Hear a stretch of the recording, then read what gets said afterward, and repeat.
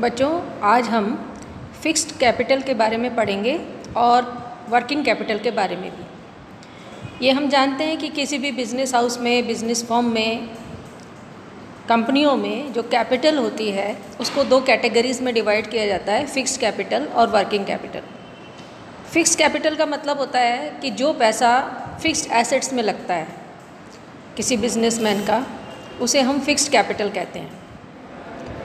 इसको अगर हम बुक की लैंग्वेज में कहें तो हम ये भी कह सकते हैं कि फर्म की कैपिटल का जो पैसा एसेट्स में लगता है लॉन्ग टर्म के लिए, उसे फिक्स कैपिटल कहते हैं। जैसे दस करोड़ की बिल्डिंग खरीदी तो दस करोड़ रुपए वो फिक्स कैपिटल हो गई।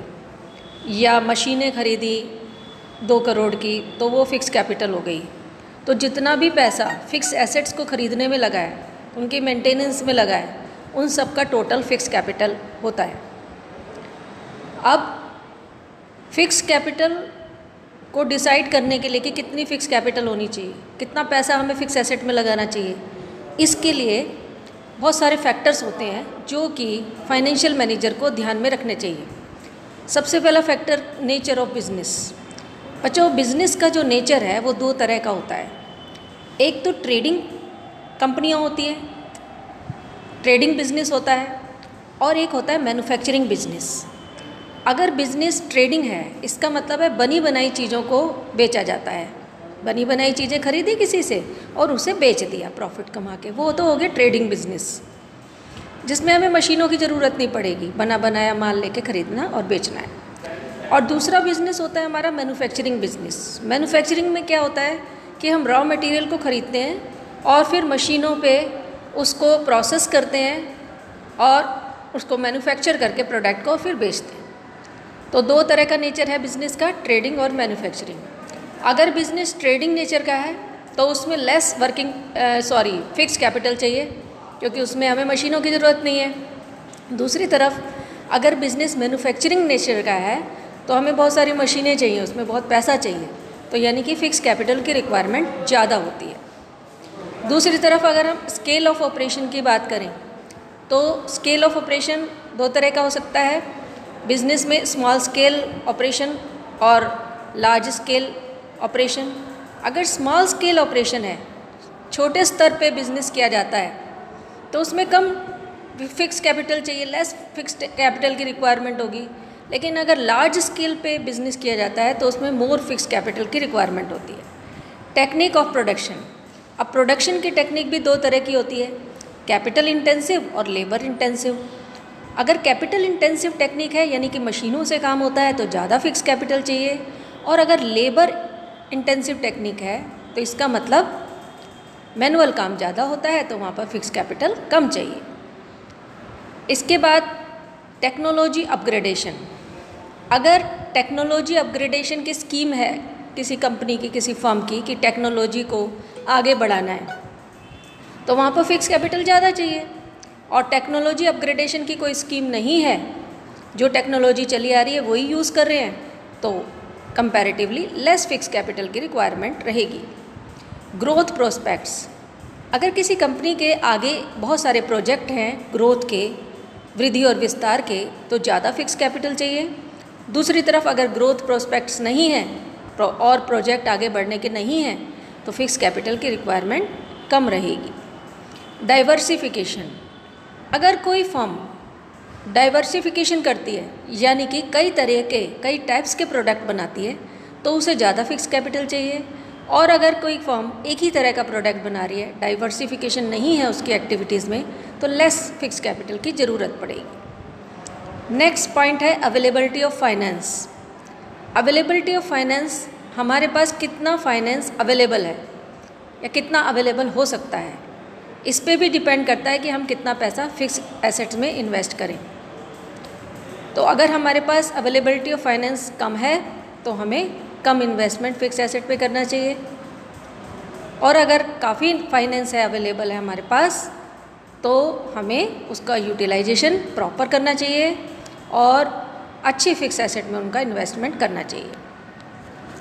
इसके बाद है eighth point level of collaboration अगर कोई फॉर्म या कोई कंपनी दो या दो से ज़्यादा कंपनियाँ मिलके फिक्स एसेट यूज़ कर लेती हैं, या फर्म यूज़ कर लेती हैं, दो या दो से ज़्यादा फर्म मिलके कोलैबोरेट होके फिक्स एसेट को यूज़ कर लेती हैं तो वहाँ पर फिक्स कैपिटल रिक्वायरमेंट कम होगी। यानी फिक्स एसेट्स को ख़रीदने में कम पैसा लगेगा सबका, है ना? क्योंकि शेयरिंग हो जाएगी। लेकिन अगर कोलेबोरेशन का लेवल नहीं है डाउन है तो उस केस में ज़्यादा फिक्स कैपिटल की ज़रूरत होगी। जैसे फॉर एग्ज़ाम्पल कि किसी कंपनी में एक फ़ोटो स्टेट फ़ोटो कॉपी की मशीन है। इसमें हम कंपनी नहीं कहेंगे, छोटे लेवल पे बात है, क्योंकि कंपनियों में तो सबकी अपनी वो होती है। फॉर्म है, दो लोगों की फॉर्म है। उसमें एक फ़ोटो मशीन ली, बहुत लेटेस्ट टेक्नोलॉजी की मशीन आई है, और काफ़ी एक्सपेंसिव आई है। उसी के साथ एक दूसरी फॉर्म है, वो भी कहती है कि भाई फ़ोटो कापीज़ तो हम भी करते हैं, हम लोग शेयरिंग कर लेंगे। और उसमें जो पैसा लगता है, वो दोनों मिल के बाँट के उसको अप बियर कर लेते हैं और जब जिसको ज़रूरत होती है, जितनी फ़ोटो कापी की, उस मशीन का यूज़ कर लेते हैं। तो ये कोलेबोरेशन होता है। तो उस केस में कम पैसा लगा, दोनों का शेयर हो गया। बच्चों, ये कुछ फैक्टर्स हैं जो फिक्स कैपिटल में ध्यान रखने के अब हम बात करते हैं वर्किंग कैपिटल की। वर्किंग कैपिटल का मतलब होता है current assets minus current liability या दूसरे शब्दों में हम कह सकते हैं excess of current assets over current liability current assets जितनी ज़्यादा होती हैं करंट लाइबिलिटी से, उसको हम वर्किंग कैपिटल कहते हैं। साधारण शब्दों में अगर हम कहें तो वर्किंग कैपिटल को डे टू डे एक्सपेंसेस भी कह सकते हैं, जो बिज़नेस को चलाने के लिए, जो ऑपरेटिंग एक्सपेंसेस होते हैं, रोज़ के लिए ज़रूरत होती है, जैसे रॉ मटेरियल खरीदने के लिए या लेबर को वेजेस देने के लिए। तो ये सारे खर्चे वर्किंग कैपिटल में काउंट होते हैं। अब इसमें लिखा है ग्रॉस वर्किंग कैपिटल तो ग्रॉस वर्किंग कैपिटल का मतलब जो टोटल हमारी एसेट्स हैं, उनको जोड़ दो तो हमारी ग्रॉस वर्किंग कैपिटल आ जाएगी। अब टोटल करंट एसेट्स आप सब जानते ही हैं, आपने अकाउंट्स में पढ़ाई है। Cash in hand cash at bank bills receivable receivable prepaid expenses accrued income ये सब टोटल करके, किसी भी फर्म की कंपनी की तो ग्रॉस वर्किंग कैपिटल आती है। इसमें हम ये एज्यूम करते हैं कि करंट लाइबिलिटी कुछ है ही नहीं। फिर आती है net working capital net working capital होती है जो हमारी ग्रॉस वर्किंग कैपिटल आई है, यानी जो टोटल करंट एसेट्स आई हैं, उसमें से जब हम करंट लाइबिलिटीज़ माइनस कर देते हैं तो नेट वर्किंग कैपिटल आ जाती है। करंट लाइबिलिटीज़ के भी नाम आपको सबको पता ही है। बिल्स पेबल क्रेडिटर्स है ना? बैंक ओवरड्राफ्ट आउटस्टैंडिंग एक्सपेंसेस जितने भी हैं फर्म के टोटल करके करंट एसेट में से करंट लाइबिलिटी घटा दो तो नेट वर्किंग कैपिटल आ जाती है। अब क्वेश्चन ये अराइज होता है कि जब वर्किंग कैपिटल डिसाइड करे कोई फाइनेंशियल मैनेजर तो उन्हें किन बातों का ध्यान रखना चाहिए? कौन से फैक्टर्स इनमें भी वही फैक्टर्स हैं जो हमने ऊपर पढ़े थे मोर और less length of operating cycle ये पहला फैक्टर बहुत इंपॉर्टेंट फैक्टर है कि ऑपरेटिंग साइकिल की लेंथ कैसी है। इसमें बिल्कुल सिंपल सा आंसर बनता है कि अगर ऑपरेटिंग साइकिल की लेंथ बड़ी है, कहने का मतलब ये है, ऑपरेटिंग साइकिल शुरू होती है जब हम रॉ मटेरियल खरीदते हैं, फिर उससे प्रोडक्ट बनाते हैं प्रोडक्ट बिक जाता है और और पैसा आ जाता है, तब जाके ऑपरेटिंग साइकिल कंप्लीट हो जाती है। तो अगर ऑपरेटिंग साइकिल की लेंथ बड़ी है, लंबी है तो ज़्यादा वर्किंग कैपिटल चाहिए। और अगर ऑपरेटिंग साइकिल की लेंथ शॉर्ट है तो कम लेस वर्किंग कैपिटल चाहिए।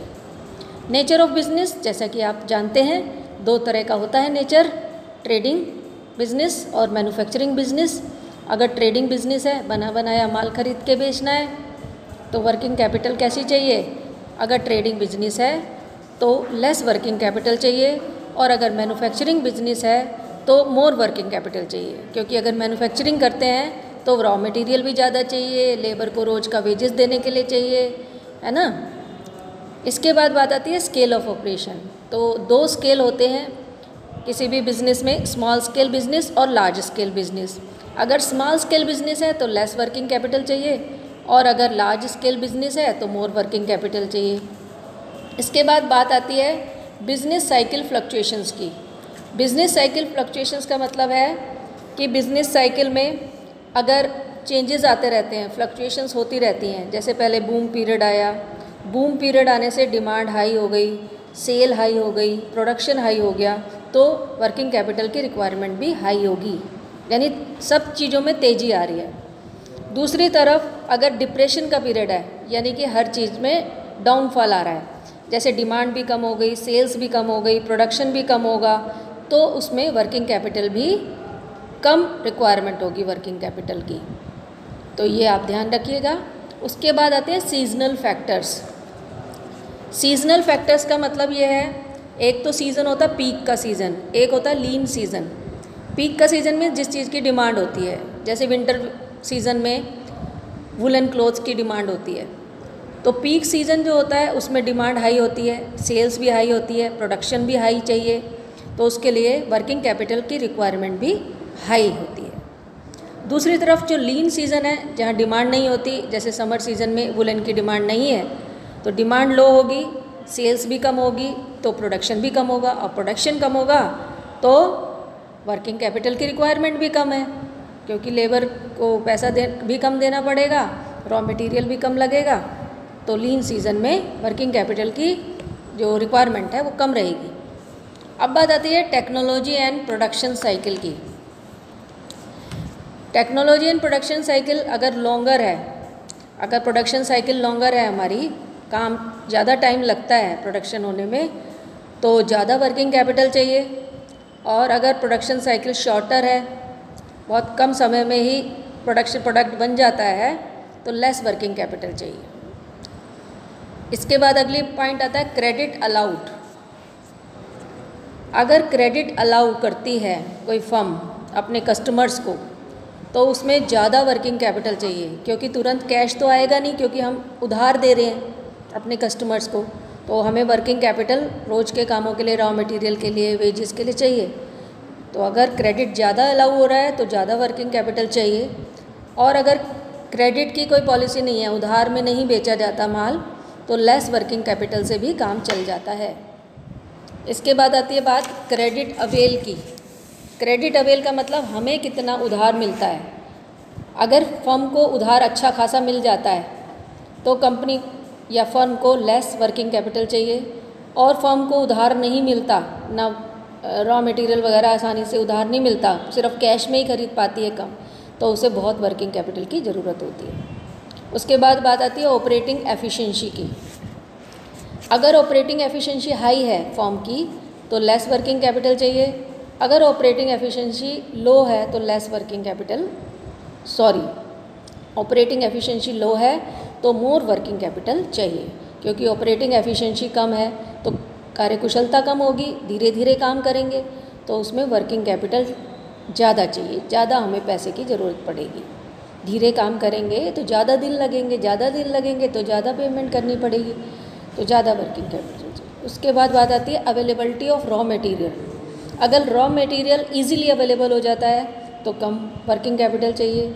और अगर रॉ मटेरियल अवेलेबिलिटी में डिफ़िकल्टी आती है, आसानी से अवेलेबल नहीं होता दूर दूर से लाना पड़ता है तो हमें ज़्यादा वर्किंग कैपिटल की ज़रूरत पड़ेगी। उसके बाद बात आती है level of competition level of competition की अगर हम बात करें तो जो प्रोडक्ट एक फॉर्म बना रही है, उसके जैसा प्रोडक्ट बनाने वाली बहुत सारी फॉर्म है लेवल बहुत हाई है तो मोर वर्किंग कैपिटल चाहिए। और लेवल ऑफ़ कंपटीशन कम है, ज़्यादा कंपटीशन नहीं है तो लेस वर्किंग कैपिटल चाहिए। कंपटीशन ज़्यादा नहीं है तो सेल ज़्यादा हो जाएगी तो इसलिए लेस वर्किंग कैपिटल चाहिए। उसके बाद बात आती है इन्फ्लेशन की। इन्फ्लेशन का मतलब तेज़ी।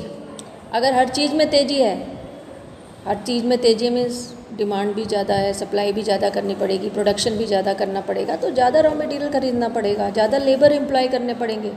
तो इसलिए ज़्यादा वर्किंग कैपिटल की ज़रूरत पड़ेगी।